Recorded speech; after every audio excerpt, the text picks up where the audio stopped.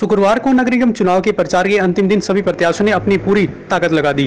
Party से संबंधित उम्मीदवारों के पक्ष में जहाँ कई नेताओं ने रोड शो कर वोट की अपील, वहीं नगर निगम के वार्ड नंबर 21 से आज़ाद प्रत्याशी सीमा कल्याण के रोड शो में भारी जन समर्थन देखने को मिला। सीमा कल्याण के समर्थन में उनके पति समाज सेवी ऋषिपाल कल्याण ने भी डोर टू डोर वोट की अपील की।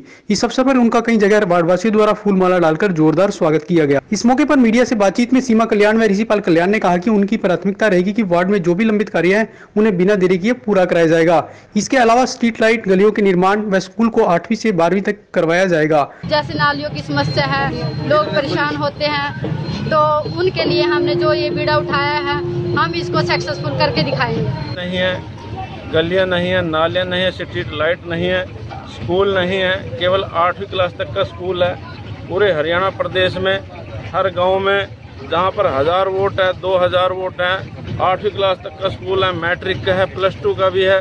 लेकिन मेरे क्षेत्र का दुर्भाग्य है कि आज तक शिक्षा मंत्री ने, मुख्यमंत्री ने यहाँ के विधायक ने इस तरफ़ ध्यान नहीं दिया।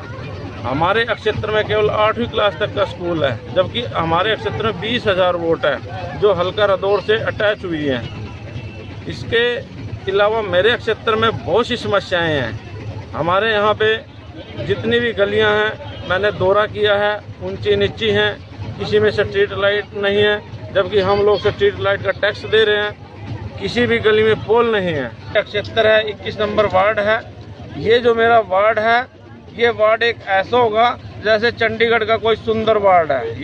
आपको बता दें कि शुक्रवार शाम तक चुनावी शोर पूरी तरह से थम जाएगा। ऐसे में अब देखना होगा कि 16 दिसंबर को जनता किस प्रत्याशी के पक्ष में मतदान कर उन्हें नगर निगम की कुर्सी तक पहुँचाने का काम करती है।